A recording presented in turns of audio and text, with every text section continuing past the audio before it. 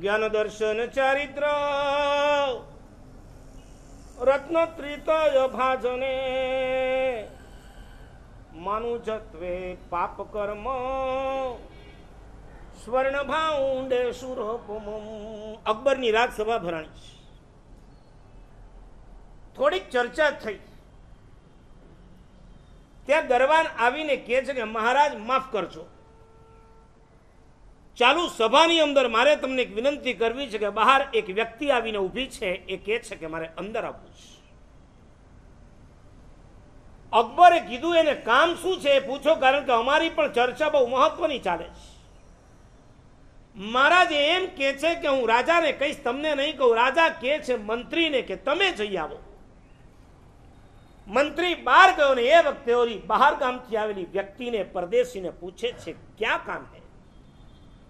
महाराज को एक आज आश्चर्य बताना है भाई कौन सा आश्चर्य जरा बताइए कुछ काम का हो तो महाराज अंदर लेंगे नहीं तो अंदर आपको आने की मना है ઓલાને થયો અહીંયા સુધી આવ્યા પછી પાછો ન જાઓ હીરો ઘોઘે જઈ આવે ને ડેલીએ હાથ દઈ આવે એના જેવું ન થાય માટે એને કીધું કે મહારાજને કહેજો કે એવી બહુભાષી વ્યક્તિ મલ્ટી ટાસ્કિંગ નહીં મલ્ટી ટોકિંગ બહુભાષી વ્યક્તિ અત્યારે બહાર ઊભી છે કે જે અંદર આવ્યા પછી તમે કેશો એ ભાષાની અંદર બોલવા માંડશો? તમે કેશો એટલી વખત બોલશે? રાજા અકબરને સમાચાર મળ્યા, રાજાએ કીધું, ખુશીથી લાવો. કારણ કે ચર્ચા એટલી ગંભીર હતી કે એમાં થોડું વાતાવરણ હળવું કરવું જરૂરી હતું. અને રાજાનો આદેશ થયો, મંત્રી, એ બહુભાષી વ્યક્તિને અંદર લઈ આવ્યો, એને આસન આપવામાં આવ્યું પાણી બાણી પીવડાવવામાં આવ્યું શાંત થયા પછી રાજા અકબર કહે છે, બોલો ભાઈ, કઈ ભાષામાં બોલશો? મહારાજ, એ તમારે કહેવાનું છે. બોલવાનું મારે, ભાષાનું ઓપ્શન તમારે. મોબાઈલમાં હોય છે આવા ઓપ્શન અલગ અલગ. આ જીવતો મોબાઈલ હતો. એને જે કયો એ ભાષામાં બોલવાનું. અને અકબરે કીધું, ઠીક હે. તો તમે ગુજરાતીમાં બોલો. અને ઓલાય પાંચ મિનિટ ગુજરાતીમાં. હિન્દીમાં બોલો. એને પાંચ મિનિટ હિન્દીમાં ફફડાવી. તમે મારવાડીમાં બોલો. પાંચ મિનિટ મારવાડીમાં બોલી ગયો. તમે મરાઠીમાં બોલો. પાંચ મિનિટ મરાઠીમાં. તમે કન્નડા તેલુગુ મલયાલમ અને તમિલ આ ચારેમાં પાંચ પાંચ મિનિટ બોલી જાઓ. ઓલું આંડુ ગુંડું નારું ગુંડું કરીને બધામાં પાંચ પાંચ મિનિટ બોલી ગયો. હવે અકબર વિચારમાં પડ્યો, છે તો ગજબનો. ભલે આપણને સમજાય કે ન સમજાય, મારો બેટો બોલે છે બરાબર. પછી અકબરને તો એ કામ કરી હવે વિદેશની ભાષા, પર્શિયનમાં બોલો. બોલો, પર્શિયનમાં બોલી ગયો. અંગ્રેજીમાં બોલો. અંગ્રેજીમાં બોલી ગયો. જર્મની, જાપનીઝ, ચાઇનીઝ હું ફૂ, ફૂંગ કરીને જે બોલવું હતું, બધી ભાષા બોલી લીધા પછી એને ચેલેન્જ ફેંકી. મહારાજ, તમારી સભામાં નવ નવ રત્નો છે ને દરબારમાં? અને નવે નવ રત્નો અત્યારે બેઠા છે ને? અને આ સભામાં જેટલા પણ વિદ્વાનો હોય બધાને હું પડકાર ફેંકુશ હું જે પંદર, વીસ પચીસ ભાષામાં બોલી ગયો, એમાંથી મારી માતૃભાષા કઈ છે પકડી એટલા વ્યવસ્થિત શબ્દો. એનું પ્રોનાઉન્સિએશન પરફેક્શન કોઈ કહી ન શકે કે આ ગુજરાતી છે, હિન્દી છે, મારવાડી તમે મારવાડી થઈને ગમે તેટલી ગુજરાતીમાં બોલવા જાઓ ને, મને હેંગ ઠા પડે. કે સિરોયરી ભાષા બોલે રહ્યા કે ઘોડવાડરી ભાષા બોલે રહ્યા હો, કે મેવાડી બોલે રહ્યા હો, કે જોધપુરી બોલે રહ્યા હો, કે જયપુરી બોલે રહ્યા હો. અમારે ત્યાં ગુજરાતીમાં કહેવત છે, બાર ગાઉએ બાર ગાઉએ બોલી બદલાય. એક રાજસ્થાનની કોઈ એક ભાષા નથી. દરબાર ગામમાં એની બોલીને ટચ લાગે, એક નવો ટચ લાગે, ન્યૂ ટચ, અને એના કારણે બોલી બદલાય છે. પણ એટલો પરફેક્ટ માણસ કે કોઈ પણ ભાષા બોલે, ત્યારે તમે કહી ન શકો કે આ વ્યક્તિની ઓરિજિનલ ભાષા કઈ બધા માથું ખંજવાળવા માંડ્યા અકબર ખુદ વિચારમાં પડી ગયો કે આજે જો આને જવાબ નહીં આપે તો આ માણસ તો ગામે ગામ જઈને આપણું નાક કાપશે. કે હવે રેવા દો અકબરને કહેવાની જરૂર નથી કે મારા દરબારમાં નવ નવ રત્નો છે. એક રતનના ઠેકાણા નથી કે જે મારી ઓરિજિનલ ભાષા કઈ છે, માતૃભાષા કઈ છે કહી શકે? બધા પર નજર નાખીશ. તાનસેન, નીચું જોઈશ છેલ્લે કોના પર નજર ગઈ? હા. તમે બિરબલ લાગો છો અત્યારે. બિરબલનું આખું નામ મહેશદાસ બિરબલ હતું. અને Birbal is a not Muslim Birbal is a Hindu brain કોની પાસે હોય? સમજો. બિરબલની ઉપર નજર પડી. અકબર કે છે, બિરબલ, આના જવાબ તો આપવા પડશે. નહીં તો આપણું નાક કપાશે. બિરબલ ઊભો થઈને કે મહારાજ, માફ કરજો. જવાબ આપું ખરો, પણ અત્યારે નહીં આપું પણ અત્યારે નહીં આપે તો ક્યારે આપીશ? આજે જ આપીશ. આજે જ આપીશ, પણ અત્યારે નહીં આપું. પ્લીઝ તમે આગ્રહ નહીં કરો કે અત્યારે ને અત્યારે જવાબ આપો. તો ક્યારે? તો કે સભા બરખાસ્ત થશે ત્યારે. તો સભાને ખબર નહીં પડે ને. આપણે સભાને ખબર પડે કે ન ખબર પડે. એને ખબર પડવી જોઈએ ને કે તારી માતૃભાષા કહીશ આપણે એને ખબર પાડી દેવી છે ને પાડી દેશું આપણે. બિરબલ દ્વિઅર્થી શબ્દમાં બોલ્યો હતો. મીટિંગ પૂરી થઈ. સભા પૂરી થઈ. ઉતરવાનું શરૂ થયું. રાજા અકબર આગળ ચાલે છે, એની પાછળ બહુભાષી વિદ્વાન ચાલે છે. મહેમાન છે ને, એટલે સાથે ચલાવવો પડે. હું નીચે ઉતરું ત્યારે તમારે કલ્પેશભાઈને મારી સાથે ઉતારવા જોઈએ. તમારે આગળ ના ઉતરાય. આપણા અતિથિ વિશેષ છે. અને જેવો એ મહેમાન ઉતરતો હતો, પાછળથી બિરબલ આવીને મહેમાનને જોરથી ધક્કો માર્યો.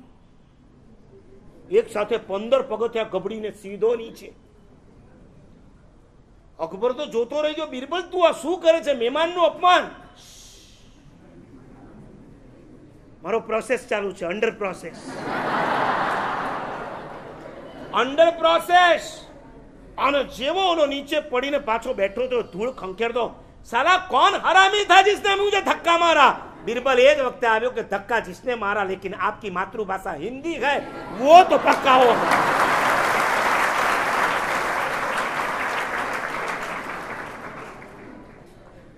માણસ બે જગ્યાએ સાચું બોલતો હોય છે, એક સપનામાં અને બીજું કટોકટીમાં.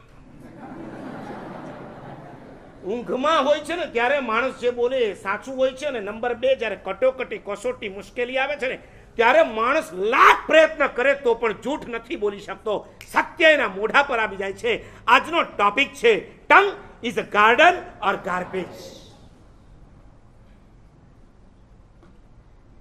આજે બે કલાક કે પોણા બે કલાક હું જે પણ બોલીશ ઓનલી ટંગ હું બોલીશ તો ટંગથી જ, પણ બોલીશ ટંગ ઉપર. બાય ટંગ ઓન ટંગ જીભ દ્વારા આજે જીભ ઉપર બોલવું છે, પણ જીભને પેલા સમજાવીશ. વોટ મીન્સ ટંગ તમને ખબર છે કે તમને જે મળ્યું છે, એનું શું, એની શું કિંમત છે, એનું શું મૂલ્ય છે, એની શું વેલ્યુ છે? આપણે ત્યાં શાસ્ત્રમાં જીવિચાર, પન્નવણા વગેરે ગ્રંથોની અંદર પાંચ ઇન્દ્રિયોના નામ આવે છે. આમાંથી કેટલા નામ આવડે છે? સો રૂપિયાનું કવર નહીં મળે. જલ્દીથી બોલો, પાંચ ઇન્દ્રિયના નામ કેટલા ના આવડે છે? પાછળવાળા. પેલા એ કયો પાંચ ઇન્દ્રિય તો છે કે નહીં તમને? પાંચ ઇન્દ્રિયના નામ કેટલા ના આવડે યસ. પેલી, હું તમને એકદમ ઇઝી શીખવાડું. આપણને ક્રમથી આ પાંચ ઇન્દ્રિય મળી છે. નંબર એક, અહીંયા હાથ મૂકો. આ શું કહેવાય? સ્કીન. આને હડપચી નહીં કહેતા, અત્યારે અહીંયા શું છે આગળ? સ્કીન. એથી ઉપર જાવ એટલે શું આવે? T for tongue. અંદર અંદર. હાથ ભલે અંદર નહીં નાખતા, પણ અંદરની ટી માટેની વાત કરું છું. ઘણા તો પોતાના લિપ્સ ઉપર હાથ ફેરવ્યા કરે છે. લિપ્સ નહીં, ટંગ. એસ ટી પછી શું આવે છે? નોઝ. જો આ ક્રમ છે આપણે જ્યારે જન્મ લઈએ છીએ ત્યારે આપણને પાંચ ઇન્દ્રિય એની પર્યાપ્તિ હોય છે. એ પર્યાપ્ત થી- એને પૂર્ણ કરવી પડે તો જ આપણને આ ઇન્દ્રિય પ્રાપ્ત થઈ શકે. પણ એનો પણ ક્રમ છે, પહેલાં તમે સ્કીન મળે છે. પછી તમને શું મળે છે? ટંગ મળે છે. પછી તમને શું મળે છે? નોઝ મળે છે. એની ઉપર જાવ એટલે શું મળે? આઈઝ અને અહીંથી સાઈડમાં જાઓ. આઈબ્રો અહીંથી આમ ખેંચાતી હોય છે. ઘણા કાજળ અહીંથી આમ ખેંચતા હોય છે. આ શું છે ઈયર બસ આ જ ક્રમ છે. આ જેને એકલી મળી હોય એને શું કહેવાય? એકેન્દ્રિય. આ અને આ આ બે જેને મળી હોય એને શું કહેવાય? યસ વેરી ગુડ આ આ અને આ આ જેને મળે એને શું કહેવાય? તેન્દ્રિય. વન ટુ થ્રી ફોર આને શું કહેવાય? અને અહીંથી અહીં સુધીનું જેને મળ્યું છે. આટલું ઈઝી છે આ જીવ વિચાર. પણ ઘણી વખત તમને આવડે છે, તમારા મા બાપને નહીં આવડતું સહી વાત? જરા ઘરે જઈને પૂછજો કે મમ્મી, બે ઇન્દ્રિય જેને હોય એને કઈ કઈ ઇન્દ્રિય હોય? કોઈએ એમને આ ક્રમ નથી શીખવાડ્યો? ક્રમ તમને હવે જિંદગીભર યાદ રહી જશે કે નહીં રે? મહેરબાની કરીને ઉપરથી નીચે નહીં આવતા. નીચે સે ઉપર જાને કા મોદી છે ને છેક નીચે હતો, ચાઇના સ્ટોલ ઉપર. ચાઇના એટલે ચાઇના નહીં. ચાય ચાય વેચતો હતો વડનગરના પ્લેટફોર્મ પર ચાયનો સ્ટોલ. અને ધીરે ધીરે ધીરે ધીરે ક્યાં પહોંચ્યો આ છે? ક્યાં પહોંચ્યો? પીએમ સુધી પહોંચી ગયો ને? હમણાં કાલે કોકે મને કીધું કે મહારાજ, મહાવીરને ઘર છોડા, વો તીર્થંકર બન ગયે. बुद्ध ने घर छोड़ा वो गौतम बुद्ध बन गए और राम ने घर छोड़ा तो मर्यादा पुरुषोत्तम बन गए श्री कृष्ण ने घर छोड़ा तो पूर्ण पुरुषोत्तम बन गए गांधी जी ने घर छोड़ा तो महात्मा गांधी बन गए मोदी ने घर छोड़ा पीएम बन गया योगी ने घर छोड़ा तो सीएम बन गया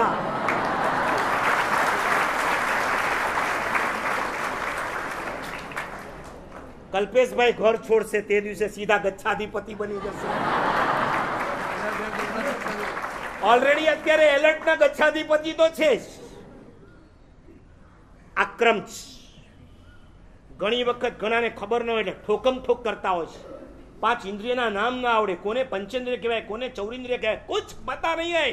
શાસ્ત્ર કે છે, પૃથ્વી, પાણી, અગ્નિ, વાયુ, આ બધા એકેન્દ્રિય કહેવાય. બે ઇન્દ્રિય શંખ વગાડો છો ને? કોડા હોય છે, દરિયાની અંદર, છીપલા વાસી ભોજન, તમે ગઈકાલના બ્રેડ આજે ખાવ, એની અંદર બે ઇન્દ્રિયના જીવ હોય તમે બ્રેડ નથી ખાતા, બે ઇન્દ્રિયના જીવોના કલેવર ખાતા હોશ આ બે ઇન્દ્રિય કહેવાય. વાસી ભોજનમાં થતા લાળિયા છું. તે ઇન્દ્રિય કોને કહેવાય? કીડી વગેરે દેખાય છે. એને ત્રણ ઇન્દ્રિય હોય હવે ઘરે જઈને પાછા ચેક નહીં કરતા. ત્રીજી એની નાક ક્યાં છે? અરે તને નથી મળ્યું ને, એવું નાક એને મળ્યું છે તું રસોડાની અંદર ફાફા મારે, સાકર ક્યાં સાકર ક્યાં? એને એક માઇલથી ખબર પડે કે તારા રસોડાના કયા ડબ્બામાં સાકર. તમને નથી મળ્યું એવું એને નાક મળ્યું હોય છે. મચ્છરને કેટલી હોય છે? ચા માખીને ચા મકોડાને ચા અને પંચેન્દ્રિય કોણ? કોને કહેવાય? માણસને જ કહેવાય. તો અરે મારવાડની અંદર બે દિવસ પહેલા મેં મારા રોજના પ્રવચનમાં એક સરસ વાત કરી હતી. મારવાડમાં એક બે માણસે બતા એમાંથી એક કાળ કરી ગયા. કાળ કરી ગયા પછી એકલા થઈ ગયા ને ચોમાસું આવતીકાલથી બેસતું હતું. એટલે ત્યાંના સંઘવાળા એમના મારા સાહેબ આચાર્ય મહારાજને કહેવા આવ્યા કે હવે એકલા થઈ ગયા છો, અમે શું કરીએ? એમણે કીધું કે અહીંથી કોઈ બીજા મારા સાહેબ નહીં આવે કામ કરો. વારાફરતી રોજ એક શ્રાવક કે અપાશ્રામાં એમની સાથે રહેવાનું ને સુવાનું. રાત્રે એકલા ન રહેવાય. ઓકે. વારા પડી જાય, એકમથી પૂનમ ને એકમથી અમાસ.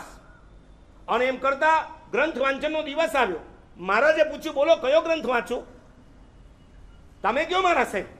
ઉત્તરાધ્યન વાંચું? અરે મારા સાહેબ, દસ વેળા હોબડ્યો હોય, દસ વેળા. તો આચાર્ય તીન વેળા હોબડ્યો હોય, કોઈ નવો ગ્રંથ લાવો ને? મહારાજને થયું, આ લોકોને ભગવતી સૂત્ર સંભળાવો. ભગવતી? હા, વાહ, બાવસી. જિંદગી મેં કદી હોબડ્યો નહીં. એક વેળા તો હોબડવાની ઈચ્છા છે. કીધું, ઠીક છે પણ ભગવતી પહેલા તમારી મારે એક્ઝામ લેવી છે. આ ભગવતીમાં પાંચ ઇન્દ્રિય ને બધી બહુ વાતો આવે. તમને આવડે ઇન્દ્રિયના નામ? ઓ એકેન્દ્રિય બે ઇન્દ્રિય તે ઇન્દ્રિય ચૌરિન્દ્રિય પંચ. અચ્છા એ કીધું પંચેન્દ્રિય કોને કહેવાય? એટલે બધાએ કીધું હાથીને પંચેન્દ્રિય. મહારાજ ખુશ થઈ ગયા. હાથી તો પંચેન્દ્રિય જ છે ને. પછી કીધું ઘોડો અરે સોરી ચૌરિન્દ્રિય? તો કે ઘોડો ચૌરિન્દ્રિય. મહારાજ વિચારમાં પડ્યા ઘોડો પંચેન્દ્રિય છે ને લોકો ચૌરિન્દ્રિય કેમ કે હશે. બાય મિસ્ટેક કહેવાય ગયો છે. ઓકે તે ઇન્દ્રિય કોને કહેવાય? એ કે મારો ઘરમાં બાપો છે ને એ તે ઇન્દ્રિય હવે મારે જ નહીં મજા આવી. તો બે ઇન્દ્રિય? એ કે હું બે ઇન્દ્રિય. તો કે એકેન્દ્રિય કે તમે એક ઇન્દ્રિય. મહારાજ કે એમ નહીં, જરા મને સમજાવો, આ હાથીને પંચેન્દ્રિય કેમ કીધો? એ કે એને ચાર પગ છે ને, આગળ સૂંઢ છે ને, એટલે એ પંચ. મહારાજને મજા આવી કે આ લોકોનું ઇન્દ્રિયનું વિજ્ઞાન જબરું છે. ઘોડો તો કે એને ચાર પગ છે. તમારા બાપાને તે ઇન્દ્રિય તો કે એને બે પગ, અને એક લાકડી લઈને હાલે છે ને એને એ તે ઇન્દ્રિય. તો તને કેમ તે તારી જાતને બેન્દ્રિય હું ને મારી લુગાઈ હું ને મારી ઘરવાળી, જકો મેં બે ઇન્દ્રિય હો અમે ઘર મેં બે જણા રહો, અને થે અપાસરા મેં એકલા રહો, જકો થોને એક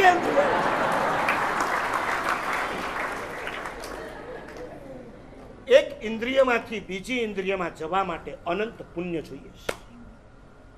બહુ ગંભીરતાથી સાંભળજો, તમને જે આજે જીભ મળી છે ને, નંબર ટુમાં મળી છે. ભલે પાંચે પાંચ ઇન્દ્રિય મળી છે, પણ એક પથ્થરના ભવમાંથી શંખના ભવમાં જવું હોય છે ને, શાસ્ત્ર કે છે, તમારી બેંકની અંદર અનંત પુણ્ય જ્યારે જમા થાય છે ને, ત્યારે તમે પૃથ્વી, પાણી, અગ્નિ, વાયુ ને વનસ્પતિના કોઈ જીવમાંથી, શંખના જીવમાં જઈ શકો છો. વિચાર કરો, બે ઇન્દ્રિયના કલેવરમાં જન્મ લેવા માટે અનંત પુણ્ય જોઈએ. તે ઇન્દ્રિયમાં એથી અનંત ગણું જોઈએ, ચૌરિન્દ્રિયમાં એથી અનંત ગણું, પંચેન્દ્રિયમાં અને આપણે ખાલી પાંચ ઇન્દ્રિય નથી મળી. પાંચ ઇન્દ્રિય વત્તા છઠ્ઠી ઇન્દ્રિય સ્વરૂપ આપણને મન મળ્યું છે. આવું મન મેળવવા માટે અનંત અનંત અનંત પુણ્યનો જ્યારે ઉદય થાય, ત્યારે આ પાંચ ઇન્દ્રિય અને મનની પ્રાપ્તિ થતી હોય છે. ગૌતમ પૃચ્છા નામની એક સજ્જાય છે. રૂપવિજયજી મહારાજની રચના છે. ગૌતમ પરમાત્માને પૂછે છે, ભગવાન, આ જીવ પંચેન્દ્રિય કઈ રીતના થાય છે? મને ને તમને જે આકારના જીભ ચામડી મળી છે, કેમ મળી ખબર છે? કેણે કર્મે જીવ પંચેન્દ્રિય હોય અને ભગવાન સુંદર જવાબ આપે છે ગોઈમાં પાંચ ઇન્દ્રિય વશ કરી, તેણે કારણે જીવ પંચેન્દ્રિય હોય. રસ્તા પરથી ચાલ્યો જતો હોઉં, મારી આંખ કંઈ ડાફોડિયા ન મારે તો હું આવતા ભૂમાં ફરી પાછો પંચેન્દ્રિય થઈશ. હું રસ્તા પરથી ચાલ્યો જતો હોઉં. મારા કાન કોઈની ગાળો, કોઈ ગંદા ગીતો સાંભળવા લાલાયિત જો ન થાય, તો સમજો કે હું આવતા ભૂમાં ફરી પાછો માણસ થઈશ. અને ગૌતમ બીજો પ્રશ્ન કરે છે, કેણે કર્મે? જીવ એકેન્દ્રિય હોય, ભગવાન કે છે, પાંચ ઇન્દ્રિય વસ નવી કરી. તેણે કર્મે? જીવ એકેન્દ્રિય હોય જેના જીભના ઠેકાણા ન હોય, જેને ગાળો બોલવામાં મજા આવતી હોય, જે ગુંડાગીર્દી જેવી વાતો કરતો હોય, અને જે મળે તે ખાવા માટે જે તૈયાર થઈ જતો હોય. રાતના બાર વાગે ભૂખ લાગે, બે વાગે ભૂખ લાગે, કા વાઈફને ઉઠાડે, કા મમ્મીને ઉઠાડે, હમણાં ને હમણાં તું મને તાજો નાસ્તો, ગરમ નાસ્તો બનાવી આપ, પૌવા વગાડી આપ, હાંડવો કરી આપ, મને બહુ ભૂખ લાગી છે. આવા આત્માઓ ઇન્દ્રિયનો જેણે સંયમ નથી કર્યો કંટ્રોલ નથી કર્યો, યાદ રાખજો, આવતા ભૂમાં, આ ભૂમાં જેવી પાંચ ઇન્દ્રિય મળી છે એવી નહીં છે આજે પાંચે ઇન્દ્રિયની વાત નથી કરવી. ખાલી સ્કીનથી ઉપર જાઓ. ઓનલી ટંગ એક રસનેન્દ્રિયની ખાલી તમને વાત કરું, જીભની વાત કરું. તમને એમ થાય કે મારે સાહેબ, જીભમાં એવી અરે કેવી તાકાત છે, ખબર છે? આ જીભ કેટલી ઇંચની હશે? માપી છે? ઘરે જઈને જરા માપી આવશે. એક છોકરા એના પપ્પાને પૂછ્યું, પપ્પા પપ્પા, આજે મારે એક ફોર્મ ભરવાનું છે ને, એમાં લખ્યું છે, મધર ટંગ. તો હું શું લખું? એનો બાપ બી જબરો હતો. એને કીધું લખ લાંબી અને તીખી.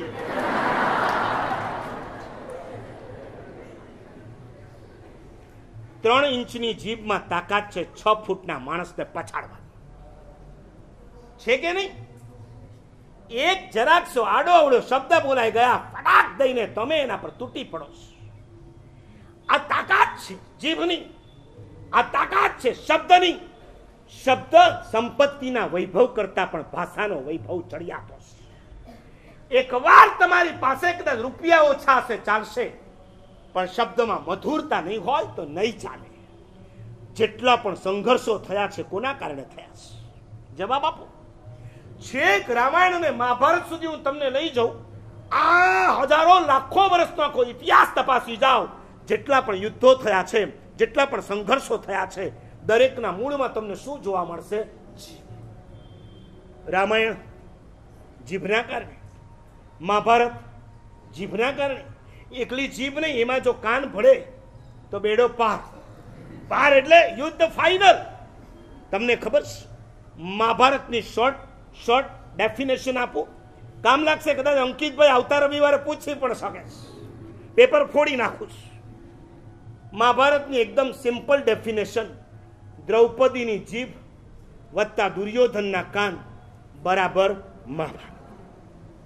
રાઈટ દ્રૌપદીની જીભ જીભમાંથી શબ્દો નીકળ્યા આંધળાના દીકરા. બસ અને કોના કાનમાં પડ્યા? દુર્યોધનના.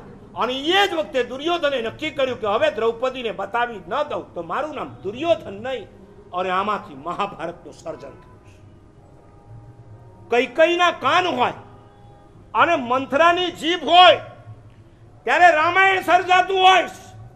મોરારી બાપુએ ઠેકાણે બહુ સરસ વાત લખી હતી કે વર્તમાન કાળની અંદર રામાયણના તમામ પાત્રો ચાલ્યા ગયા છે, રામ નથી. લક્ષ્મણ નથી, ભરત નથી, રાવણ નથી, સીતા નથી, કોઈ નથી. એક પાત્ર આજે પણ ઘર ઘરમાં જીવતું છે અને એનું નામ નહીં બોલો. એ લોકો તો નહીં બોલે, તમે તો બોલો. કઈ કઈ નહીં, એનું નામ મંથરાસ ફૂકો જ માર્યા કરવા. ફૂંકો જ માર્યા કરવા. નણંદ હોય એ મારા કાનમાં ફૂંક મારે કે ભોજાય ભાભી આવું કરે છે ને ભાભી તેમ કરે છે. દેરાણી વાલી થવા માટે સાસુના કાનમાં ફૂંક મારતી હોય, જેઠાણી આમ કરે છે ને તેમ કરે છે. જીભ વત્તા કાન બરાબર રામાયણ, બરાબર મહાભારત. આજે જીભની ત્રણ વિશેષતા કહું છું. બીજી બધી ઇન્દ્રિય બે મળી છે. કાન કેટલા છે? પાકો? બે કાનથી સંભળાય છે ને? કાન બે. અને કામ કેટલા એના? એક. શું? સાંભળ. આંખ કેટલી મળી છે? બે. કામ કેટલા? જોવા નાકના નસકોરા, બે. કામ એક. સૂંઘવા. જીભ કેટલી મળી છે? જરા મોટેથી જીભ એક છે, પણ એના કામ કેટલા છે? અને બે નહીં, અને. ડગલાબંધ કામ.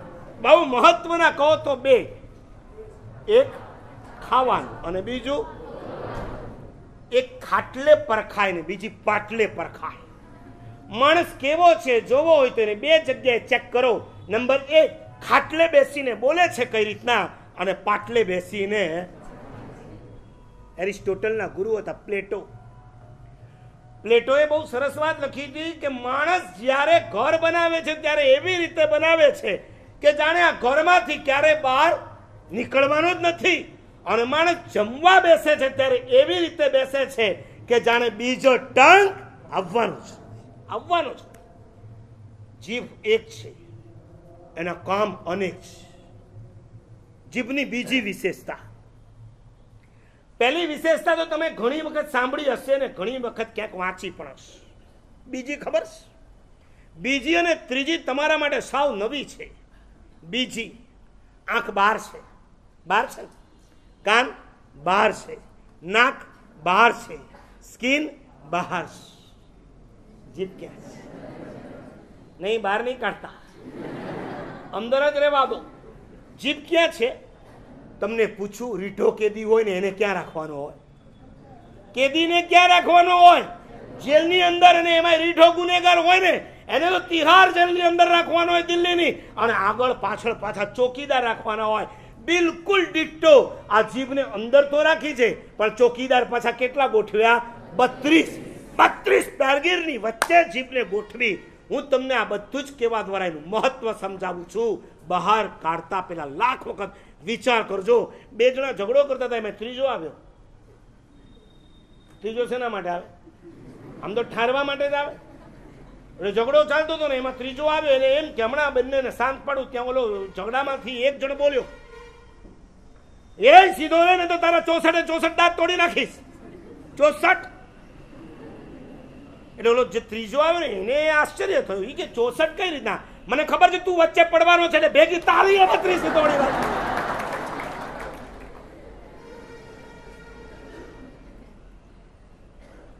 જીભની ત્રીજી વિશેષતા. આખું મેડિકલ સાયન્સ ચેક કરી જાઓ. આંખમાં કદાચ પ્રોબ્લેમ સર્જાય. નવસારીમાં. નવસારી નહીં તો છેલ્લે ચેન્નાઈમાં.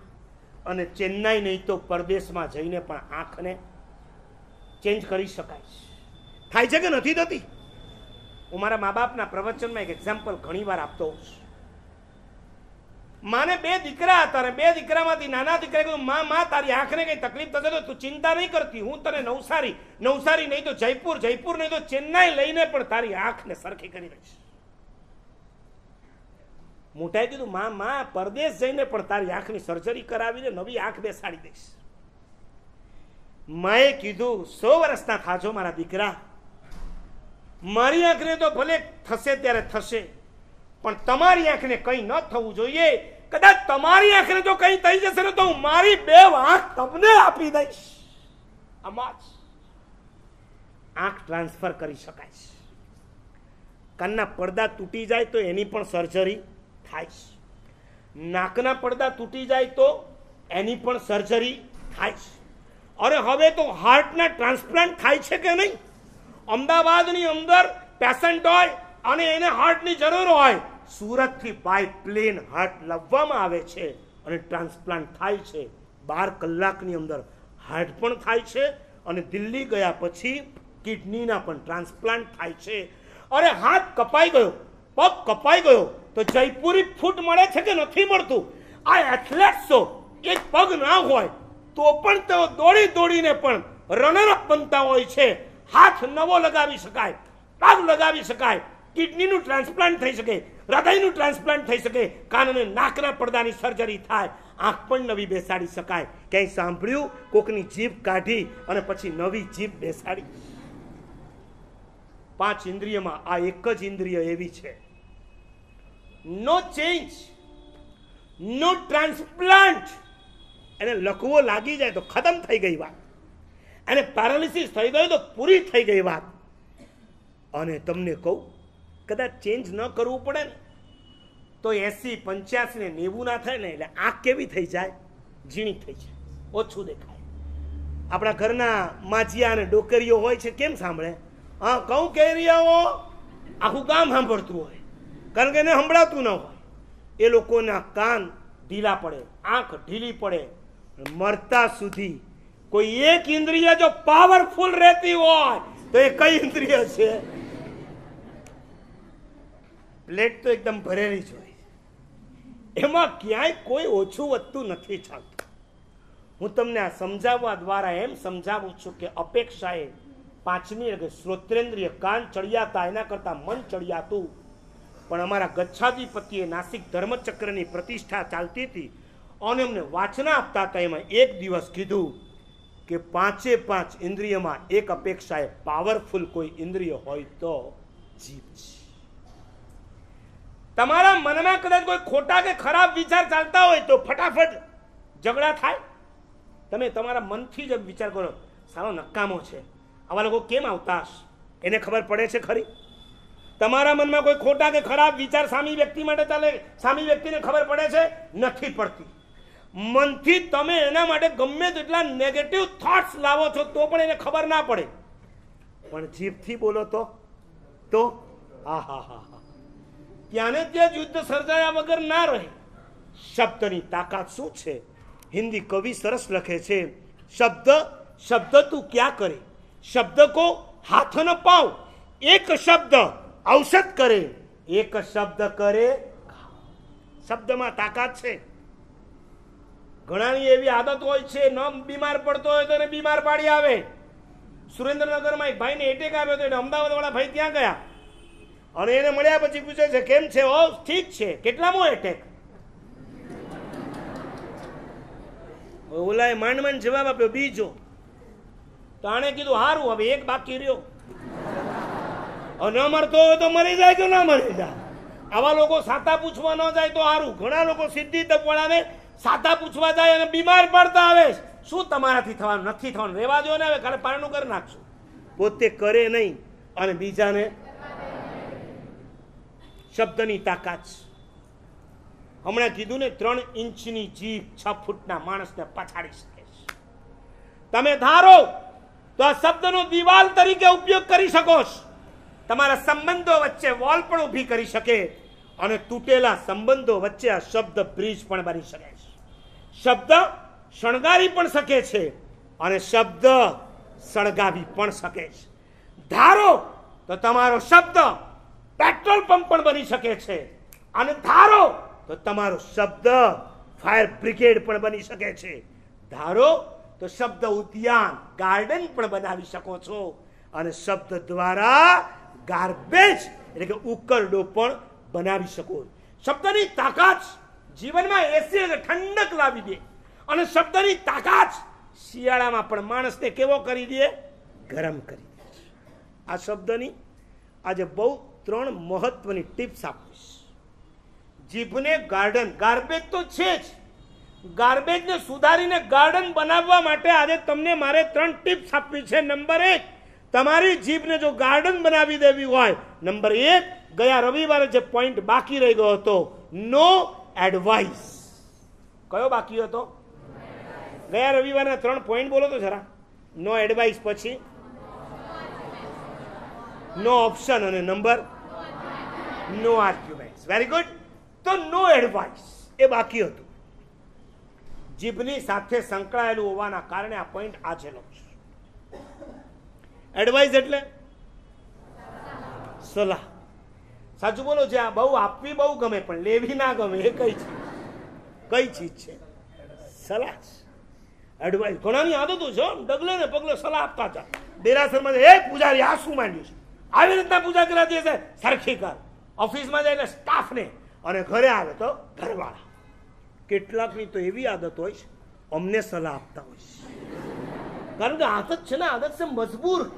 એ અપાશ્રમમાં આવે તો અમને સલાહ આપે. મારા સાહેબ, તમે મા બાપ ઉપર બહુ પ્રવચન આપો છો. મેં કીધું, હા. મને એમ કે એના જીવનમાં કંઈ ચેન્જ આવ્યો હશે એટલે આપણને કેવા આવ્યો લાગે છે? મને કે, હવે એક પ્રવચન એવું આપો. મેં કીધું, કેવું? મને કે હવે મા બાપને પ્રવચન આપો મા બાપને કે દીકરાને વહુને કઈ રીતના ટેકલ કરવા છે? તારી ભલી થાય, તું મને સલાહ આપવા બેઠો. હું એને સલાહ આપું એ મને સલાહ આપે કે તમારી વાત અમે બધી સાંભળી લીધી. હવે એક પ્રવચન તમે પિસ્તાલીસથી પંચોતેર વાળા અમારા મા બાપ માટે રાખો અને એમને સલાહ આપો કે તમારે મા બાપને મા બાપે દીકરાને વહુ સાથે કેવું બિહેવિયર રાખવું છે. સલાહ. જ્યાં જાય ત્યાં સલાહ. ઘરે મા બાપને સલાહ આપે, પરણીને નવો આવ્યો હોય, તો પત્નીથી ભૂલો થવાની, મમ્મી એને કહેવાની, પત્ની તમને કહેવાની, અને કીધા પછી તમે મમ્મીનો પક્ષ લેશો કે ઘરવાળીનો લેશો? જલ્દીથી. એક ઠેકાણે આવી જ રીતના છોકરો બોલ્યો, મમ્મી. મને ડાઉટ પડ્યો એટલે મેં ફરી પૂછ્યું, તો કે, મમ્મીનો. હું જોરથી બોલ, કે બાબલાની મમ્મીનો.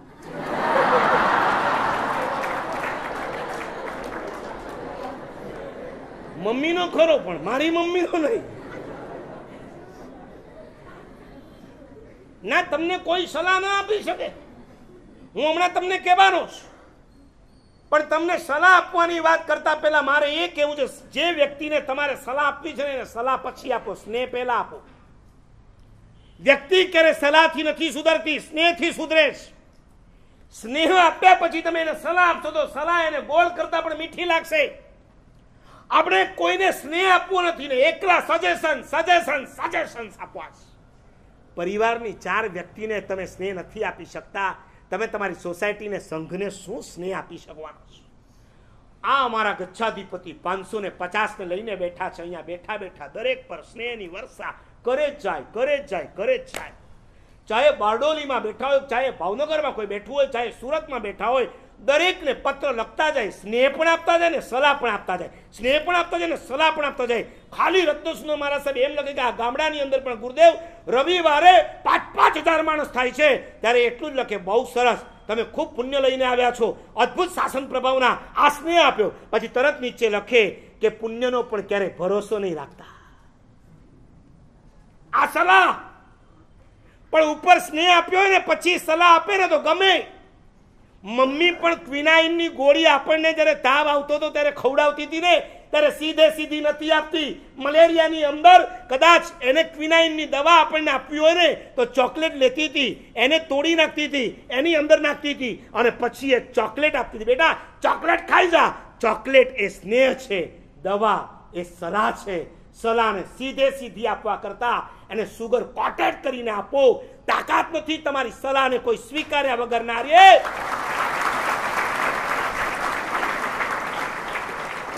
અને એ જ રત્ન સુંદર સુરી મહારાજ પણ પોતે બારડોલીની ભાર સભા વચ્ચે કહી શકે, આજે પણ અમે નસીબદાર છીએ કે અમારા ગચ્છાધિપતિ અમને કંઈક કહી શકે છે. સલાહ આપતા પહેલા ત્રણ કન્ડિશન છે. બહુ સિરિયસલી તમને કહું છું, આજે કદાચ તમને કોક સલાહ આપે છે, આવતીકાલે પાંચ દસ વર્ષમાં તમે મોટા થવાના છો, તમે કોકને સલાહ આપવાના છો, એ વખતે તમે તમારા દસ વર્ષ પહેલાંની જિંદગી યાદ કરજો. કે મને કોક કહેતું તું ત્યારે નહોતું ગમતું, પણ પ્રેમથી કહેતું તું તો ગમતું તું, તો મારે પણ કોકને કહેવું હોય તો કઈ રીતના કહેવાનું પ્રેમથી કહેવાનું સલાહ આપવાની ત્રણ કન્ડિશન નંબર વન તમારી પાસે કોકને સલાહ આપવાનો પાવર છે કે નહીં?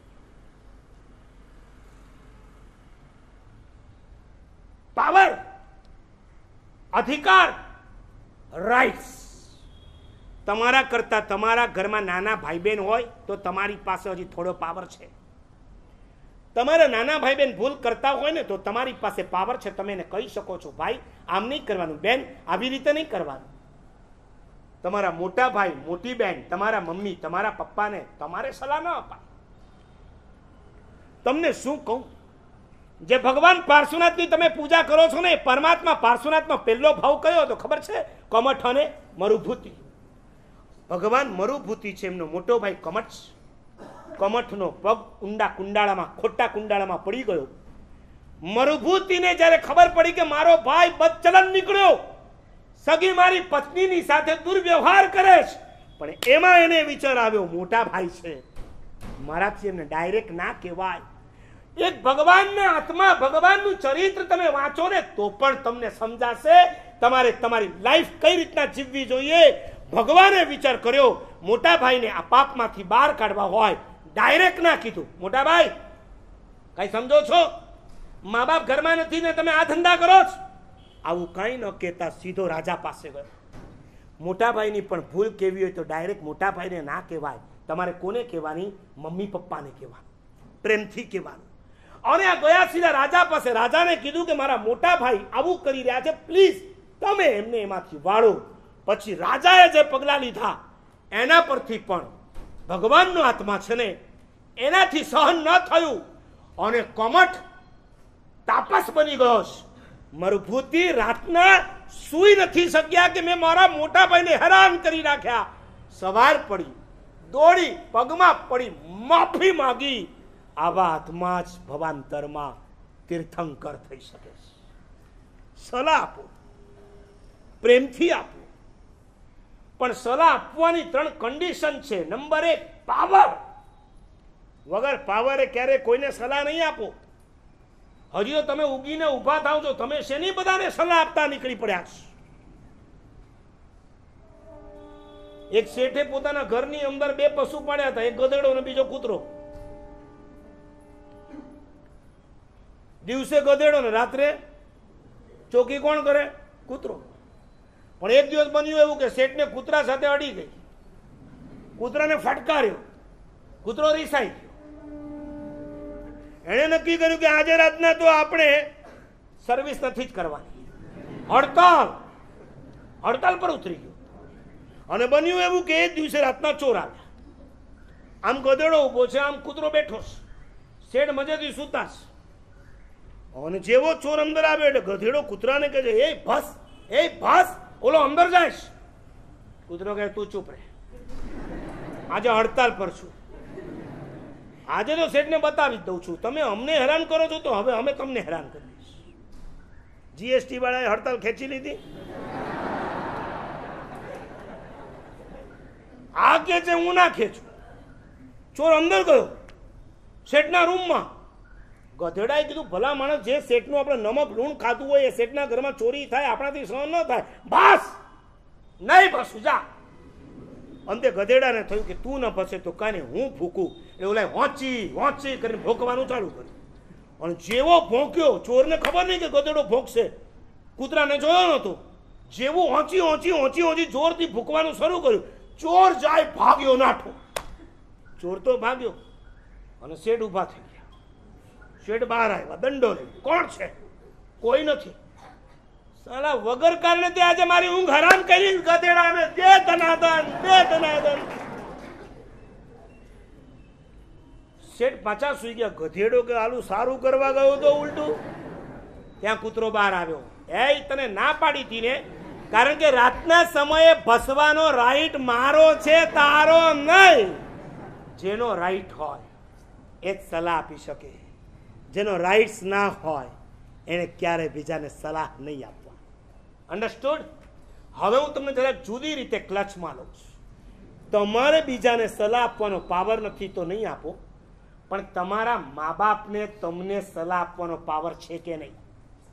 જરા એટલું મને કહી દો હા કે ના? યશોર નો? યસ જો તમારા મા બાપને રાઇટ્સ છે, તમારા મા બાપ તમને કંઈ કહી શકે છે ખરું? કહી શકે છે? તમને કહી શકે? ઓકે, કીધા પછી તમને ગમે કે થોબડા ચડાવીને બેસી જાઓ? રિસાઈને બેસી જાઓ? તમારા બેડરૂમને તમે અંદર લોક કરીને બેસી જાઓ? એ જ માં કલાક પછી રડતી રડતી આવે, બેટા, બહાર નિકલ મિચ્છામી દુકડમ. અબ દુબારા મેં તુજે કભી નહીં કહુંગી. ના મુજે નહીં ખાના હે. આ નાટક નથી કરતા. આ ધંધા તમે લોકો નથી કરતા. તમને એમ થવું જોઈએ. તમને કહું જેના મા બાપ હજી તમને કહી શકતા હોય ને, તમારા મા બાપ હજી જો તમને કંઈ કહી શકતા હોય ને, તો તમારી જાતને તમે નસીબદાર માનશો. નસીબદાર માનજો. આજના કાળમાં મા બાપોએ જ્યારે દીકરા દીકરી કે વહુને કહેવાનું છોડી દીધું છે એવા કાળમાં હજી જો તમને કહી શકતા હોય વીસ, બાવીસ, પચીસ ને સત્યાવીસની ઉંમરે, તો તમે તમારી જાતને નસીબદાર માનજો. આજે અમે પંચાવનની ઉંમરે અમારી જાતને નસીબદાર એટલા માનીએ છીએ, અમારાથી કંઈક મોટું ખોટું થઈ જાય. અમારા ગચ્છાધિપતિ એટ એ ટાઈમ કદાચ નથી કહેતા, સાંજ પડે, વંદન થઈ જાય, પછી અમારો હાથ પકડી રાખે, બધા બહાર જાય, દરવાજો બંધ કરીને પછી અમને કહે, તમે આજે જે આ કર્યું હતું ને, એ બરાબર નહોતું કર્યું. એક વખત લાગી આવે મારા કેટલું આપણું ધ્યાન રાખે છે? પાછું એમ થાય. આવા ગુરુ જો નહીં મળે ને, તો આપણો પરલોક બગડી જશે. આપણો પરલોક સુધારવા માટે આ ગુરુ આપણને કહી રહ્યા મારે તમને કેવું છે, જે ગચ્છાધિપતિ કે જે અમારા ગુરુદેવ છે, એની સાથે મારે કોઈ લોહીની સગાઈ નથી. નથી એમના ભાઈ, નથી એમના દીકરા, નથી અમારો બાપ. અને લાગણીની સગાઈ હોય, અને એક કે જો અમને ગમતું હોય, તમારો બાપ ને તમારી માએ તમને નવ નવ મહિના પેટમાં રાખ્યા પછી તમને જન્મ આપ્યા છે. અને તમને પાળી પોષીને મોટા કર્યા. એ જ મા બાપ તમને કદાચ વીસ, બાવીસ કે પચીસની ઉંમરે તમને કંઈ કહે. અને તમને જો ગમે નહીં, તમે જો માથું ફેરવો, તમે જો સામા જવાબ આપતા હો, યાદ રાખજો, આવતા ભૂમાં એવો જન્મ મળશે જ્યાં ક્યાંય મા બાપ જ નહીં હોય. એકેન્દ્રિયથી ચૌરિન્દ્રિય સુધી કોઈ મા બાપ હોતા જ નથી. હવામાં ઉત્પન્ન થઈ જવાનું, હવામાં વિલીન થઈ જવાનું. કબૂલ હોય તો તમારા મા બાપને તમે સામે જવાબ આપજો. જગતગુરુ હિરસુરી મહારાજ થઈ ગયા ચારસો વર્ષ પહેલા.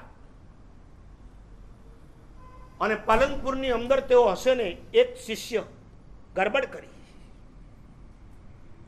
ગરબડ કરેલા શિષ્યને એમણે થાંભલા સાથે દોરડાથી બાંધી દીધો. બાંધી દીધો. અને એને ત્યાં જ મૂકીને બાકીના બધા સાધુ સાથે વિહાર કરી ગયા. ઉપાશ્રયમાં મહારાજ સાહેબને વંદન કરવા માટે એક શ્રાવક ચડ્યો. આખો ઉપાસરે ખાલી. એમાં એની નજર પડી. થાંભલા પર. અને થાંભલા સાથે મહાત્મા અરે અરે અરે, મહારાજ, તમને કોણે બાંધી દીધા? અને એ દોરડું ઢીલું કરવા ગયો. જેવું દોરડું થોડુંક ઢીલું થયું, શ્વાસ લીધો. અને ઓલા મહારાજ કહે છે, ખબરદાર દોરડું છોડ્યું છે તો. પણ પણ, પાણબાણ કોચ નહીં. પણ તમને આ કોણ બાંધી ગયું કોણ છોડાવશે? જેણે બાંધ્યો છે, એ છોડશે. તારે વચમાં ડાપણ કરવાની જરૂર નથી. રવાનો થા. આ તાકાત એક શિષ્યની. મારી ભૂલ છે તો મારા ગુરુએ મને પનિશમેન્ટ આપી છે. એને મારે સ્વીકારી જ લેવાની હોય. એક સાધુ જો પોતાના ગુરુની પનિશમેન્ટ સ્વીકારી શકતો હોય. તમે એક દીકરા થઈને તમારા મા બાપ ખાલી કંઈ તમને કહે તમે તમે સહન ન કરી શકો. મેં સાંભળ્યું ટ્વેલ્થની અંદર તમારું રિઝલ્ટ નબળું આવે અને મમ્મી એટલું જ કે તારી પાછળ આટલી મહેનત કરી તોય તારું આ રિઝલ્ટ ખલાસ છોકરીને ખોટું લાગી જાય. સીધી રૂમની અંદર જવાનું, દુપટ્ટો કાઢવાનો, પંખા સાથે લગાવવાનો, લટકી પડવાનો આ ધંધા. તમને કોઈ કંઈક કહે એટલે તરત જ સુસાઇડ કોઈક છોકરીને કોઈક છોકરા સાથે ફરતી જોઈ અને માએ કીધું, બેટા, બરાબર નથી થતું, સારું નથી લાગતું. આપણે ખાનદાન કરના છીએ તું લબાડની સાથે ફરે. ખલાસ. મને કેમ કીધું? ઘણી છોકરીઓ ફરે છે. તું એકલી મને જ કયા કરે છે? મને જ ટક ટક ટક ટક કર્યા કરે છે. અને બીજા દિવસે બેડરૂમમાંથી ચિઠ્ઠી મળે. હવે હું આ ઘરમાં ક્યારે પાછી નહીં આવું. હું લપો છું. આમાંથી ભલું હશે તો કોઈક છોકરી એવી હશે. કે જે બે દિવસ માટે મમ્મીને ડરાવવા માટે ઘરમાંથી ભાગી ગઈ છે. આમાંથી ઘણા એવા હશે કે જેણે મા બાપની સામે તમાચા માર્યા હશે. ગાળો આપી હશે. તમારા મા બાપનો કોઈ પાવર નહીં. કોઈ રાઈટ નહીં. પાંત્રીસ વર્ષની ઉંમરે મને યાદ છે મારા સગા મોટા ભાઈ. એને એક દિવસ પિક્ચર જોવા જવું હતું એટલે એ બાને પૂછતો તો બા આજે બધા ફ્રેન્ડ સર્કલ પિક્ચર જોવા જાય છે, હું જઉં. બા ગેલેરીમાં ઊભા હતા હું નાનો હતો. મને આજે પણ ચાલીસ વર્ષ પહેલાનો આ ડાયલોગ યાદ આવે છે. મારી બાએ કીધું, મને ખબર નથી. આ મને ખબર નથીનો મિનિંગ અમારે સમજી જવાનો હોય. એ ભલે મને ખબર નથી એમ કે, પણ એનું કહેવાનું અર્થઘટન એ હોય કે નહીં. એમને નહોતું ગમતું. અમે ટીવી જોઈએ. એમને નહોતું ગમતું. અમે પિક્ચર જોવા જઈએ. અમાએ એટલું જ કીધું, મને નથી ખબર. અને બા રોડ ઉપર જોતા ઊભા રહી ગયા. ત્રીજે માળે ત્યાંથી રોડ ઉપર જુએ. છોકરાને સમજાઈ ગયું, મોટા ભાઈને સંભળાઈ ગયું. બાએ આમ કીધું, મોટો ભાઈ, ચાલતો થયો. અમે ચાલી સિસ્ટમમાં રહેતા હતા. પાંચ ઘર ક્રોસ કરીને છઠ્ઠા ઘરે જેવો પહોંચ્યો. એટલે બાથી ના રહેવા એ ક્યાં જાઈશ? પાછો આય. બાને કહેશ, મારા ફ્રેન્ડ્સને ના કહેવા જાઉં છું. કે હું નહીં આવું, કારણ કે હું પિક્ચર જોઉં એ મારી માને ગમતું નથી. એક માને ન ગમે તો પિક્ચર જોવાનું છોડી શકે. એક માને ન ગમે તો પરદેશમાં ગયેલો એક ડોક્ટર રાતના જ્યારે ડિનર પીરસાતું હતું ત્યારે એમને એમ બેઠો રહ્યો. બધાએ પૂછ્યું, ભાઈ, તમારે નથી ખાવું? ત્યારે એણે કીધું, ના, હું રાતના નહીં ખાઉં. આઈ એમ જૈન. પણ ભલા માણસ બધા જ ઘણા જૈનો હવે તો રાતના ખાય એ ભલે બધા ખાતા હોય. હું નહીં ખાઉં. કારણ તો કયો? કારણ હું જેવો ઇન્ડિયા જઈશ, એટલે મારી મા મને પહેલો પ્રશ્ન એ કરવાની બેટા, ત્યાં તે રાત્રે તો નથી ખાધું ને? રાત્રિ ભોજન કરવાથી તિર્યંજ ગતિ મળે, નરક ગતિ મળે, એની મને ખબર નથી. એમાં જીવ હોય કે ન હોય, એની મને ખબર નથી. પણ મારી મામાં જીવ છે અને મારી માનો જીવ દુખાય, એવું કોઈ કામ મારે નથી કરવું. માટે હું રાત્રે નહીં ખાઉં. કેટલા નાના પોઈન્ટ્સ કહું છું. અને એમાં પણ જો એ મા બાપને સરેન્ડર રહી શકતા હોય, તમે તમારા મા બાપને સરેન્ડર રાખો. તમે થોડા ઘણા પૈસા કમાતા થઈ ગયા અને વાપરતા થઈ ગયા, એમાં તમારા મા બાપ તમને પૂછી પૂછીને કરે. મેં એવા ઘર જોયા છે કે જ્યાં માને પૈસા વાપરવા તો દીકરાને પૂછવું પડે, બેટા, એક ચડાવો લઉં. ચુલ્લું પર પાણીમાં ડૂબી મરવું જોઈએ દીકરાએ. સામેથી મા બાપને કહેવું જોઈએ, પિતાજી, તમારી કમાવેલી મૂડી છે, જેટલા વાપરો એટલા વાપરી શકો છો. તમારા ગયા પછી અમે ચાર ભાઈઓ લડી ઝઘડી આ રૂપિયાને પૂરા કરીએ, એના કરતાં તમારા હાથે વાપરતા જાઓ. નંબર એક, સલાહ આપતા પહેલા શું વિચારવાનું? પાવર. અને અત્યારની ઉંમરમાં તમારે તમારા મા બાપના અંડરમાં રહેવાનું છે. એમના પાવર તમારા ઉપર ચાલવા દેજો. નંબર ટુ નંબર ટુ પુણ્ય. પાવર પછી બીજું શું જોઈએ? માની લો કે આવતીકાલે તમે મોટા થયા, તમારા હાથ નીચે પંદર જણાનો સ્ટાફ છે. તમારો પરિવાર છે. તમારે કંઈક કહેવું છે? પણ એ પહેલાં તમે ચેક કરજો, તમારું પુણ્ય કેટલું છે. ઘણી વખત એવું બને કે પોતાનું પુણ્ય ન હોય તો દરેક જગ્યાએ માર ખાય. પહેલાં પુણ્ય ચેક કરવાનું, હું કહીશ તો સાંભળશે ખરો.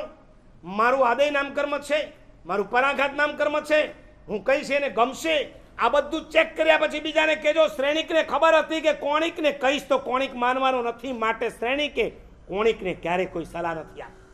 ખબર છે? એન ટાઈમે શ્રેણિક જેવા શ્રેણિકને સગા બાપને કોણિકે ક્યાં નાખ્યો હતો? જેલમાં. તમને જૈનોની કથાઓ પણ ખબર નથી. ભગવાન મહાવીરના સમયની અંદર રાજા શ્રેણિક થયો, એનો સગો દીકરો કોણિક જન્મ્યો ત્યારે એની માએ એને ઉકરડામાં ફેંકી દીધેલો કારણ કે આ છોકરો મોટો થઈને એના બાપને મારી નાખવાનો છે. આ ખબર જ્યારે ચેરણાને પડી હતી, ત્યારે શ્રેણિકને જ્યારે ખબર પડી, તો શ્રેણિક ઉકરડામાંથી પાછો લઈ આવ્યો. કુકડાએ એની આંગળી ખોલી નાખી દી, મોઢામાં નાખી, કેમ કે ઓલો રડતો હતો, મોઢામાં નાખી નાખી એનું પરુ, આ બાપ દીકરાનું પરુ પોતે પી જતો હતો. એ જ દીકરો મોટો થયા પછી આ શ્રેણિક હજી રાજગાદી છોડતા નથી. આ રાજગાદી આ ડોસો જીવતો છે ત્યાં સુધી મને નહીં મળે. શ્રેણિકને ક્યાં નાખ્યા હતા જેલમાં. આવતી ચોવીસીના જે તીર્થંકર થવાના છે. સગો દીકરો એને ક્યાં નાખે છે જેલમાં? એ અપેક્ષાએ તમે બધા બહુ સારા છો કે તમારા મા બાપને હજી તમે સાચવો સાચવશો ને? ભાઈ, સાચવશો ને? ઘરડા ઘરમાં તો નહીં મોકલો ને. હજી પૈણ્યા નથી એટલે હા હા હા કરો છો.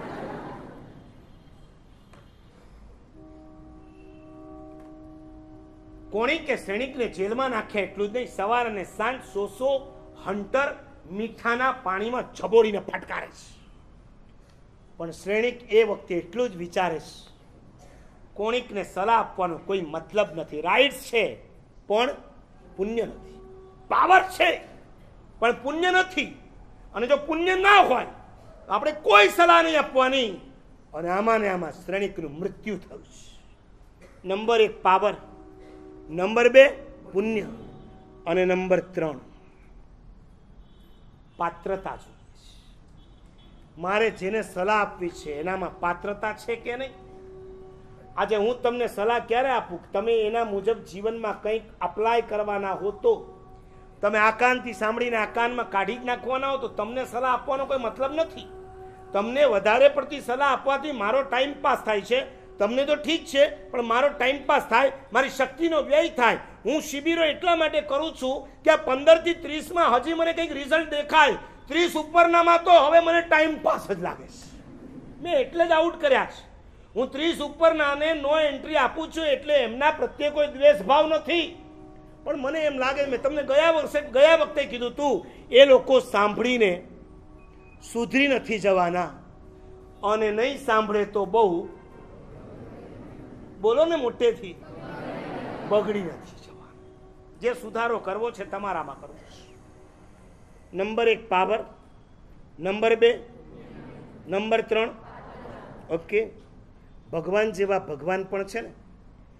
જમાલી અને મેઘકુમાર બેવ સામે આવ્યા મેઘકુમાર કે છે, ભગવાન, મારે હવે નથી રહેવું. આ સંથારા પર મને ઊંઘ નથી આવતી. સવારે દીક્ષા છોડીને જવાની વાત કરતા હતા. ભગવાને એને અટકાવ્યા છે.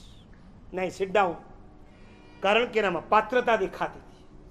અને એ જ ભગવાને જમાલી. એને સુધારવાની કોઈ કોશિશ નથી કરી. જમાલી ભગવાનની સામે પડ્યો. ભગવાનનું વચન એનો અર્થઘટન આમ નહીં, આમ જ થાય. ભગવાને કીધું, જવા દો, કારણ કે પાત્ર નથી, અપાત્ર છે, કુપાત્ર છે. કુપાત્ર વ્યક્તિને સમજાવવાના ક્યારે પ્રયત્ન કરવા છે. મેં તમારા મા બાપોને પણ ઘણીવાર કીધું છે.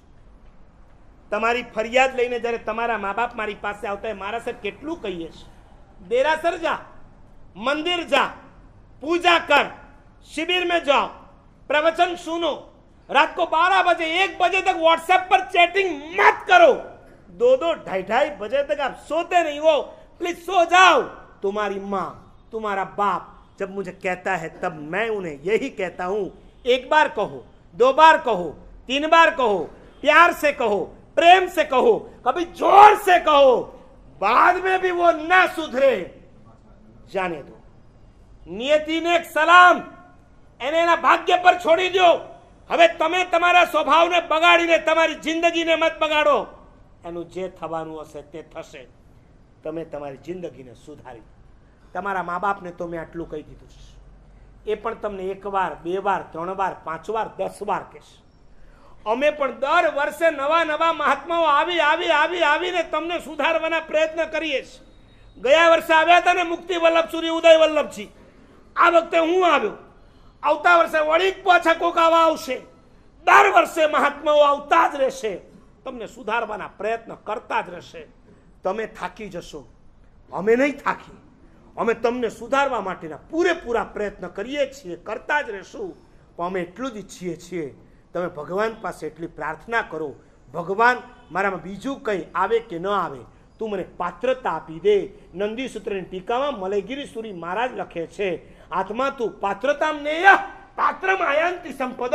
તમારી જાતને તમે પાત્ર બનાવી દો ઓટોમેટિક વરસાદ આવશે ને, ત્યારે પાત્ર પાણીથી ભરાય છે.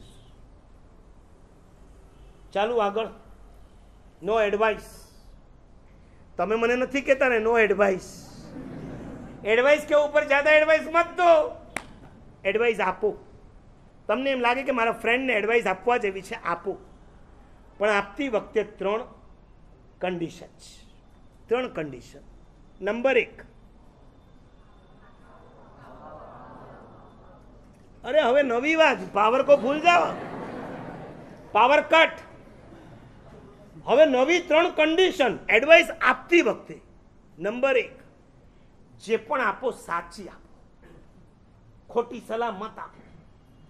તમે ક્યારેક તમારા ફ્રેન્ડ સર્કલને બતાવી દેવા માટે ખોટી ખોટી એડવાઇસ પણ આપ- આપતા હોશ નહીં પ્લીઝ એવા ધંધા મત કરો. કાલે ઉઠીને મને પણ કોઈ પૂછવા આવે કે મારા સાહેબ મેં શાદી કરું યા ના કરું? એ જો મને પૂછવા આવ્યો. હવે મારે તો એને સાચી જ આપવી જોઈએ. શું આપું? બોલો, તમે કહો. મેં કહ્યું મહિને તો નહીં કીએ. એના બાપને જઈને એને કીધું. મુજે નહીં કરના બાપ કહેવાય શાંતિ રાખ. શાદી તો કરની પડતી હે. નહીં મુજે નહીં કરની હે. આજકાલ આવો એક મેનિયા ચાલ્યો છે છોકરીઓમાં પણ मैं शादी नहीं करूंगी क्यों मैं घर पे रह के मम्मी की सेवा करूंगी वाह वाह वाह अभी मम्मी को परेशान करना है और बाद में सेवा करनी है पहले सेवा कर बाद में देखेंगे शादी करनी है कि नहीं ये गलत है એક કાળ જુદો હતો આજનો કાળ જુદો છે દરેક મા બાપને છોકરી અઢાર વર્ષની થાય ત્યારથી આમ સાપના ભારા જેવી લાગતી હોય છે. ક્યારે એનું ઠેકાણું પડે એટલે મા બાપ નિશ્ચિંત થાય છે. પણ છોકરાએ ના પાડી. પપ્પા, મુજે શાદી નહીં કરની હે. બાપ કે, છાનો માનો બેસ. ના, મુજે નહીં કરની હે. બાપને તો અમારાથી નહીં સુધે એટલે વકીલને બોલાય. સામે વકીલને બેસાડ્યો, અહીંયા છોકરાને બેસાડ્યો. બાપ કે, આર્ગ્યુમેન્ટ કર. આર્ગ્યુમેન્ટ કર. और वकील के साथ आर्ग्यूमेंट शुरू कर दिया आर्ग्यूमेंट करता पहला छोकरा है कि तो वकील साहब सुन लीजिए। मेरी कंडीशन है। यदि आर्ग्यूमेंट में आप जीत जाओगे तो मैं शादी करूँगा। और मैं जीत गया तो आपको डाइवोर्स लेना पड़ेगा। वकील किए, तारे शादी करनी है तो कर, ना करनी है तो ना कर। मारू घर तोड़वा मैं।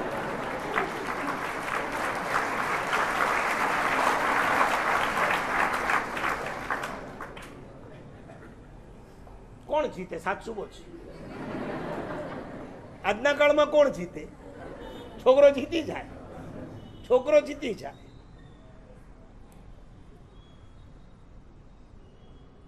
એક ભાઈ એના દોસ્તને લઈને સાંજના ઘરે આવ્યો. અને દૂરથી વાઈફે જોયું કે આ તો એના ફ્રેન્ડને લઈને આવે, જીગરી ફ્રેન્ડ જેવા અંદર આવ્યો ને, હજી ફ્રેન્ડ બહાર હતો. આ કોને લઈને તમે આવ્યા? મારા કપડાના ઠેકાણા નથી, મારા વાળના ઠેકાણા નથી, મારે નાવાનું બાકી છે, મારે રસોઈ કરવાની બાકી આટલા લબાચા કામના બાકી છે, એમાંથી તમે પાછા ઉપર ધ્યાન લઈ આવ્યા. હવે હું રસોઈ ક્યારે કરીશ? બોલો કે, હું એને જમવા નથી લાવ્યો. હું એને એ બતાવવા આવ્યો છું કે લગ્ન કર્યા પછી આ હાલત હોય છે. હવે સમજીને કર, લગ્ન કરવા છે કે નથી કરવા. સલાહ સાચી આપો. નંબર ટુ સલાહ ટૂંકી આપો. ટૂંકી એટલે સમજો છો? જરૂર પૂરતી. જે વખતે વોટ્સએપ નહોતા ને એસએમએસ હતા ને, એક મેસેજના કેટલા પૈસા લાગતા હતા? હા? આ તમારા એસએમએસ તો ઇંગ્લિશ ભાષાની પથારી ફેરવી નાખી. સી ડબલ એચી છે નહીં સિક્સ કરી દે અને છે થઈ ગયો. કમાલ ઇંગ્લિશ લાવ્યા છે. મને લાગે છે આ બધું આવતીકાલે ઓક્સફોર્ડની ડિક્શનરીની અંદર બધું એડ કરવું પડે એમ છે. અરે, એનું નામ જ રાખવું પડશે. WhatsApp dictionary! એક રૂપિયાનો મેસેજ થતો હતો. વન સિક્સટી લેટર્સ અને આપણા વન સિક્સટી ફાઈવ થતા હોય તો એડજસ્ટ કરતા હતા કે નહોતા કરતા? કે જવા દે હવે, કાંઈ વાંધો નહીં. બીજો મેસેજ ફટકારે. અરે, શાનો માનો રે. એક રૂપિયો નક્કામો જાય એસએમએસ વખતે તમે કેટલા જરૂરી શબ્દોનો પ્રયોગ કરો છો? આ બહેનોને પૂછો કે દાળની અંદર વઘાર કરો ત્યારે બધું માપસર હોય કે મુઠ્ઠા ભરી ભરીને નાખો. ચાની અંદર સાકર નાખો તો કેટલી નાખો? દાળમાં વઘાર નાખો તો કેટલી? કપડાં ધોતા હતા ને ત્યારે ગળી આવતી હતી, ગળીનો પાવડર. તો આમ કેટલો નાખે? બધા કપડાં બ્લ્યુઇશ થઈ જાય એટલો? માપ ટુ માપ. અરે ટૂથપેસ્ટ લઈએ છીએ ને બ્રશની ઉપર તો પણ કેટલો? કેટલી? અને કદાચ ગુમડું થયું હોય. ડૉક્ટરે આ કીધું આ લગાવી દેજો. આખે આખી એની અંદર ઠાલવી દઈએ. નહીં, આટલું દઈએ ને ઘસીએ. બરાબર છે ને? આ દરેક જગ્યાએ તમને માપની ખબર છે. પણ કોકને સલાહ આપતી વખતે કેટલું માપ રાખવાનું ખબર જ નથી. બે ધનાધન. જાય જાવા ધન ધનાધન. Number three. પેલી યાદ કરાવો જરા. પાવર નહીં બોલતા પાછા. સાચી આપો. નંબર ટુ, ટૂંકી આપો. અને નંબર થ્રી, જે પણ આપો ને સલાહ સામોવાળો સહી શકે એટલી જ. તમારા ઘરે મહેમાન આવ્યા હોય, મમ્મી ચા બનાવે, તો ગરમ કેટલી? કેટલી હોય? પી શકાય? એકદમ ગરમા ગરમ લાવી લ્યો લ્યો પી જ પડશે. ના, નહીં ચાલે. ઓલાની જીભ દાજી જાય કે નો દાજી જાય? મારે એ જ કેવું છે, સલાહ આપતી વખતે ધ્યાન રાખો. ઓલો આખે આખો સળગી ના છો. સળગી જતા હોય છે. તમે એને સુધારવાની જગ્યાએ ક્યારેક બગાડવાના ધંધા કરી આવો છો. તમને ખબર છે, સોની હોય છે ને, સોની. એ સોનાની લગડી બનાવે ને, ત્યારે એને શું કરે? ગરમ ભઠ્ઠી પર ગરમ કરે. હવે તમે લેવા જાઓ, ત્યારે આમ ગરમા ગરમ આપે સોની. લ્યો આ સોનાની કીની. દાજી જવાય કે ના દાજી સાચી સલાહ પણ જો ગરમા ગરમ આપશો, તો ઉલટી પડશે. એને પણ ઠંડી પાડવી પડે છે. ડિટ્ટો એ જ રીતના સલાહ ગરમા ગરમ શબ્દોમાં નહીં આપો. જરાક ઠંડા, જરાક સ્નેહાળ શબ્દોની અંદર આપો. એક વહુ તાજી તાજી પરણીને આવી. જો આવતીકાલે તમે પણ પત્ની બનશો કોકની અને પછી તમે ભવિષ્યમાં સાસુ બનવાના છો. આફ્ટર ટ્વેન્ટી ફાઈવ યર્સ પછી પણ તમારે મારી આ શિબિરના શબ્દો યાદ રાખવાના છે. વહુ હજી તાજી તાજી આવી હતી. ઘરના વ્યવહારોની કે સાસુના સ્વભાવની એને ખબર નહોતી. અને ઘરમાં સરસ મજાના નવા નકોર તલ આવ્યા છે. તલને સાફ કર્યા, પછી એને રસોડામાં મૂકી દેવાના હતા. વહુને થયું કે સાસુ તો ચોકીદાર ને જમાદારની જેમ ઊભી છે એટલે બધા જ મૂકી દેવા પડશે. એને ખબર ન પડે એવી રીતના એક વાટકા જેટલા તલ વહુએ અલગથી કાઢીને મૂકી પોતાના રૂમમાં બપોરે ટાઈમ મળશે ત્યારે આ તલ ખાઈ લેશું. કારણ કે સાસુ તો આપવાની નથી. બપોરનો સમય થયો. વહુ રસોડ, રસોડામાંથી રૂમમાં ગઈ. જોયું કોઈ નથી ને? અને માણસ ક્યારેક પાપ કરવા જતો હોય છે ને, ત્યારે એક બારી ખુલ્લી રાખીને જતો દરવાજો ખુલ્લો રહી ગયો. વહુ રસોડાની અંદર, સોરી, રૂમની અંદર ગઈ. એને ઓલો તલનો વાટકો બહાર કાઢ્યો. મોઢામાં નાખ્યા. તલ એકદમ મીઠા મીઠા લાગે છે. વહુને આશ્ચર્ય થયું કે મેં તો સાવ સાદા તલ મૂક્યા હતા, મીઠા કેમ થઈ ગયા? ત્યાં જ પાછળથી એક હાથ એના ખભા પર પડ્યો. વહુ ચમકી મારા રૂમની અંદર કોણ આવી ગયું? જોયું તો જમાદાર. ખડે હે. વહુ શરમાઈ ગઈ. આંખોમાં આંસુ આવી ગયા. મમ્મી સોરી ત્યારે માં કહે છે, બેટા બેટા, આ તલ એકલા ના ખવાય. એકલા ખાઈએ તો પેટમાં દુખે એટલે મેં એની અંદર સાકર નાખીશ. હવે તું સાકર વાળા તલ ખા. અને વહુને તો આહા હા હું જેને ચોકીદાર ને જમાદાર માનતી હતી, આ માં તો સાક્ષાત દેવી જેવી છે. હવે હું તમને પૂછું છું આ વહુ જિંદગીમાં દુબારા સાસુથી છુપાઈને કોઈ ચીજ ખાવાની ભૂલ કરે ખરી? ના સલાહ ઓછી. સ્નેહ વધારે. એક સ્નેહમાં તાકાત છે, જિંદગીમાં પાપ કરવાનું ભૂલાવી